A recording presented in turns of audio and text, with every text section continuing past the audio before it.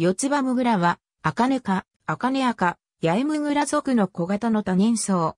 茎は、下部で分子し、細く、直立して高さ20から50センチメートルになり、4両があり、毛はない。茎の基部は地面を這うこともある。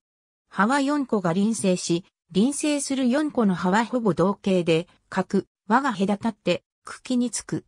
葉身は長さ6から 15mm、幅3から 6mm、卵状楕円形、または卵型で、先は短く尖る。葉の円取り面に斜上する白髪が生える。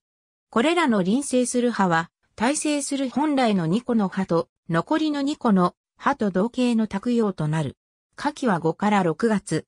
茎先や上部の溶液から短い果樹をつけ、数個の花をやや密集してつける。花柄は短く、長さ1から 3mm になる。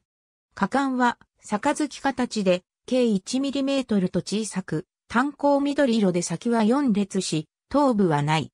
果敢裂片の背面に毛はない。幽髄は4個ある。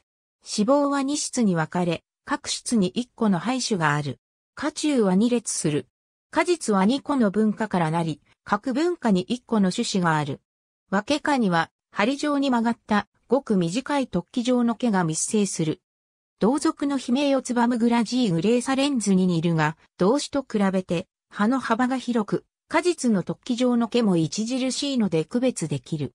日本では北海道、本州、四国、九州に分布し、田畑のあぜや丘陵地の草むら、道端などに生育する。世界では朝鮮半島、中国大陸に分布する。和名、四つ葉ムグラは四つ葉ムグラの意で、葉の付き方から言う。ムグラは、草むら、藪の意味がある。種商名トレーキースパーマムは、ザラザラした種子のの意味。ありがとうございます。